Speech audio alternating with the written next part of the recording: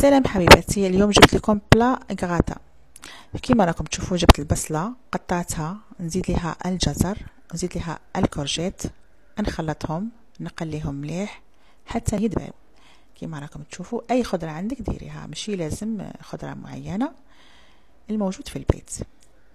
نضيف لها كذلك لي زيبيس كي ملح بزار فلفل اللي عندك نغطيها كي تذبال نضيف لها شوية نتاع الزيتونه باش تعطيها واحد الذوق وشويه نتاع القزبر من جهة ثانية راني دايرة مقلة قطعت فيها بطاطا مربعات صغيرة وقليتهم وخليتهم ينشفوا على جهة.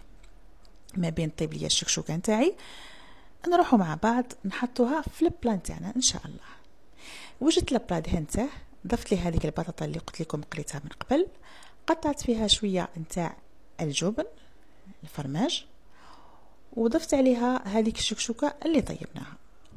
ومن بعد نجيب البيض نضيف ليه شوية نتاع الحليب وشوية ملح وشوية بزار ونخلطهم ونزيدهم على البلا نتاعي.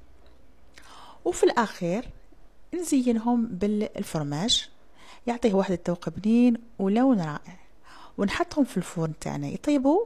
كي تطيب إن شاء الله نشوفوها مع بعض جاهزه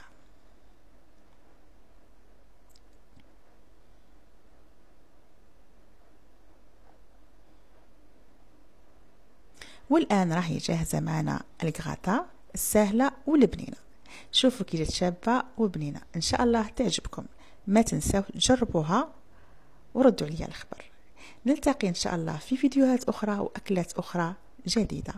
دمتم في رعاية الله وحفظه والسلام عليكم. شهيتكم طيبة.